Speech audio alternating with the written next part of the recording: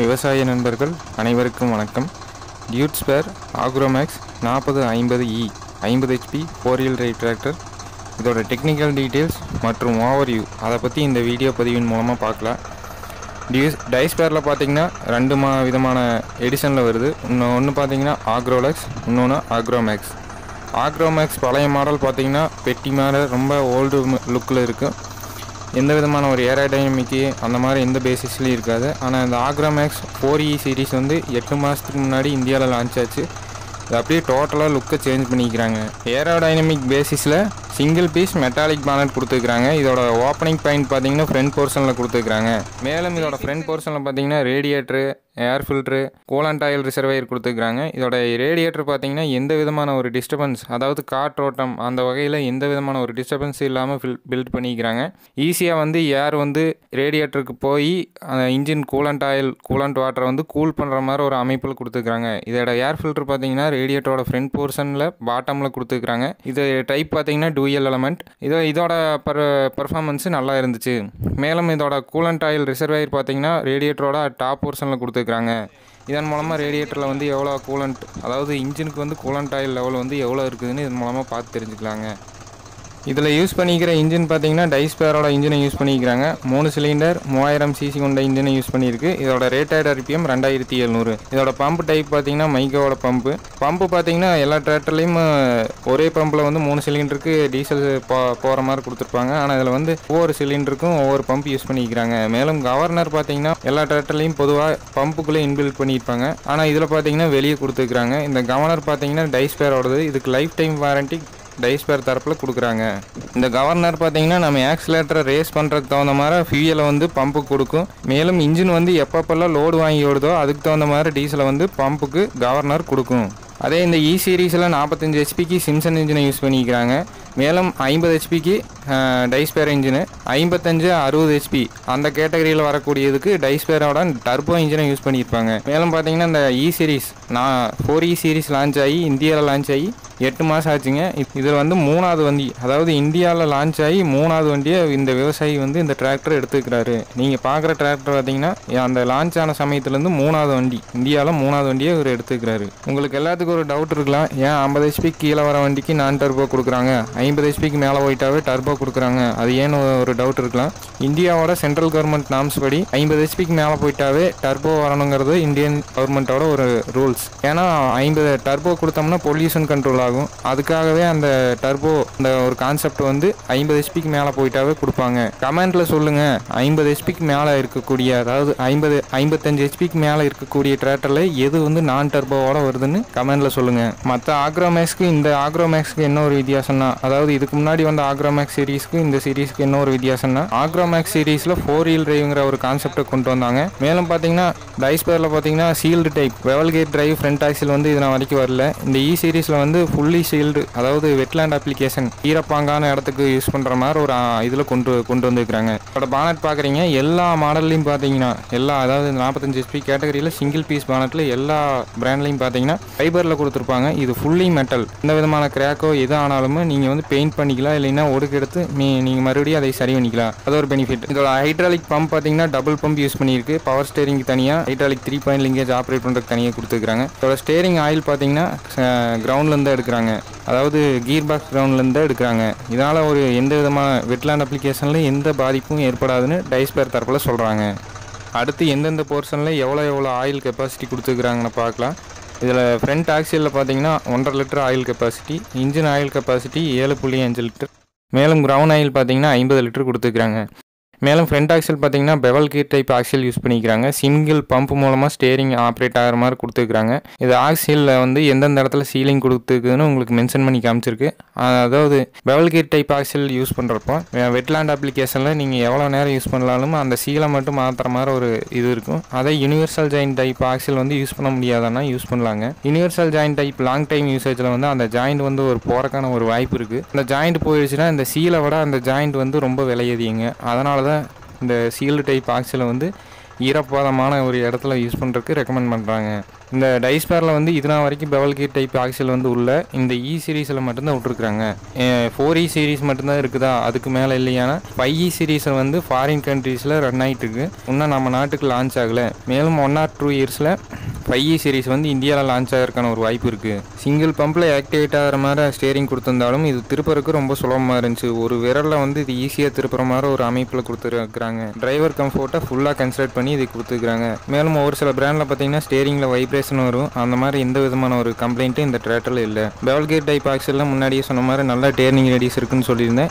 இந்த டிராக்டர்லையும் டேர்னிங் ரெடிஸ் நல்லா இருந்துச்சு. இதோட பர்ஃபார்மன்ஸ் வந்து நான் பார்ட் டூவில் பார்க்கலாங்க. பர்ஃபார்மன்ஸு மட்ஃபீல்டு எல்லா விதமான லேண்டில் யூஸ் பண்ணுறதையுமே நம்ம பார்ட் டூ பார்ட் த்ரீல பார்க்கலாங்க. மற்ற பிராண்டோட கம்பேர் பண்ணுறப்போ ஸ்பெஷலாக இதில் என்ன இருக்குது எல்லாரும் சொல்கிற பாயிண்ட்டை தான் நானும் சொல்கிறேன் அதாவது கம்பெனியில் நீங்கள் போய் டிராக்டர் வாங்குறேன்னா அவங்க சொல்கிற பாயிண்ட்டை தான் நானும் சொல்கிறேன் அது போக இது இல்லாமல் இதில் தனித்துவமான ஒரு பாயிண்ட் என்ன இருக்குதுன்னா ரெண்டு பாயிண்ட் இருக்குங்க. ஒன்று பார்த்தீங்கன்னா இதில் வந்து பேக்கிங் எங்கேயுமே கிடையாது. எந்த ஒரு ஃபிட்டிங்லேயுமே பேக்கிங் கிடையாது. எல்லாமே பேஸ்ட் தான் யூஸ் பண்ணியிருப்பாங்க. மேலும் இன்னொரு பாயிண்ட் என்னென்னா இன்ஜின் கீர் பாக்ஸ் எந்தெந்த இடத்துல மூவிங் பார்ட்ஸ் வருதோ அந்த இடத்துலலாம் ஃபோர்ஸ் லூப்ரிகேஷன் அதாவது பம்ப் மூலமாக ஆயில் வந்து லைனிங் மூலமாக போய் மூவிங் பார்ட்ஸில் லூப்ரிகேட் பண்ணுற மாதிரி ஒரு டெக்னாலஜி யூஸ் பண்ணிக்கிறாங்க. மற்ற பிராண்ட்லலாம் பார்த்தீங்கன்னா ஆயில் அடி சம்பில் கொடுத்துருப்பாங்க. கீர் மூ மூவ் ஆகிறப்போ அந்த ஆயில் தானாக அதாவது ஃப்ளாஷ் லூப்ரிகேஷன் தானாகவே லூப்ரிகேட் பண்ணிக்கிற மாதிரி ஒரு அமைப்பில் கொடுத்துருப்பாங்க. அந்த ஃப்ளாஷ் லூப்ரிகேஷனில் என்ன ஒரு ட்ராபேக்னா engine oil gear box oil நீங்கள் ப்ராப்பரான லெவலில் மெயின்டைன் பண்ணிகிட்டே இருக்கணும். அந்த லெவலுக்கு கீழே போச்சிங்கன்னா போச்சுன்னா அந்த லூப்ரிகேஷன் வந்து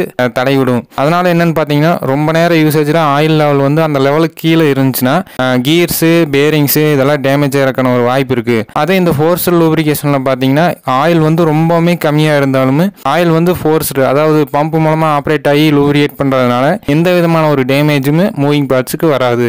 அதுதான் இதில் ஒரு ப்ளஸ் பாயிண்ட்டு அடுத்து இந்த டிராக்டரில் யூஸ் பண்ணிக்கிற இன்ஸ்ட்ருமெண்ட் கிளஸ்டர் கீர் செட்ஸத்தை பற்றி பார்க்கலாம். இதில் இன்ஸ்ட்ருமெண்ட் கிளஸ்டரில் பார்த்தீங்கன்னா RPM meter temperature PL level மற்றும் மற்ற இண்டிகேட்டர் அதாவது நார்மலாக மற்ற பிராண்டில் யூஸ் பண்ணுறதுக்குண்டான ஆயில் ப்ரெஷரு பேட்ரி இண்டிகேட்டரு அதுக்குண்டான லைட்ஸ் எல்லாமே கொடுத்துருக்குறாங்க. இதோட கிளச் டைப் பார்த்தீங்கன்னா டியூயல் கிளச் கொடுத்துருக்குறாங்க. இது சஸ்பெண்டட் பெடல் இல்லைனாலுமே இது ஆப்ரேட் பண்ணுறதுக்கு ரொம்ப சுலபமாக இருந்துச்சு. இதோட பிரேக் பார்த்தீங்கன்னா ஆயில் இம்மர்ஸ்டு டிஸ்க் பிரேக் கொடுத்துருக்காங்க பார்க்கிங் லாக் பார்த்தீங்கன்னா அதுக்கு பக்கத்தில் ஆரஞ்சு லெவலில் கொடுத்துருக்காங்க அதுக்கு பக்கத்தில் இந்த எக்ஸலேட்டர் பேடல் கொடுத்துருக்காங்க மேலும் ரைட் சைடில் பார்த்தீங்கன்னா one two three four range selection lever கொடுத்துருக்காங்க இதில் ரெண்டு டைப் இருக்குதுங்க கீர் சிஸ்டத்தில் எட்டு ஃபார்வேர்ட் நாலு ரிவர்ஸ் அந்த ஆப்ஷனோட எட்டு ஃபார்வேர்ட் ரெண்டு ரிவர்ஸ் அந்த ஆப்ஷனோட இருக்கக்கூடிய gear box constant mesh synchro mesh ரெண்டு டைப் இருக்குதுங்க. நீங்கள் எந்த டைப் வேணுமோ அது வாங்கிக்கலாங்க. மேலும் ரைட் சைடில் பார்த்தீங்கன்னா ஹைட்ராலிக் ஆப்ரேட்டிங் லிவர் கொடுத்துருக்காங்க பொசன் டிராஃப்ட் லிவர் இதை லோ மீடியம் லோ ஹைன்னு இந்த மாடலில் கொடுத்துருக்காங்க இதே பார்த்தீங்கன்னா இன்னொரு வேரியண்ட்டில் எடுத்தீங்கன்னா அந்த ஜாண்டியருக்கு குபோட்டா மாதிரி லோ ஹை ரிவர்ஸ் அந்த ஆப்ஷனோட வரக்கூடியது. அதை மென்ஷன் பண்ணி காமிச்சிருக்கிறேன். இவங்க வந்து லோ